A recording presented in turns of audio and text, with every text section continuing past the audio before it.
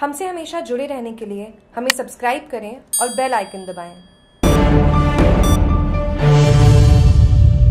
पाली ज़िले के बसोर ग्राम में शिक्षकों की कमी के चलते छात्र छात्राओं ने विद्यालयों पर जड़ा ताला। छात्र छात्राओं के समर्थन में उतरे ग्रामवासी। पाली ज़िले के मारवाड़ जंक्शन उपखंड मुख्यालय के बासोर ग्राम पंचायत मुख्यालय के निकट राजकीय उच्च माध्यमिक विद्यालय पर शिक्षकों की कमी के चलते छात्र छात्राओं का प्रशासन के प्रति गुस्सा फूटा एवं मुख्य द्वार पर ताला जड़ दिया गया।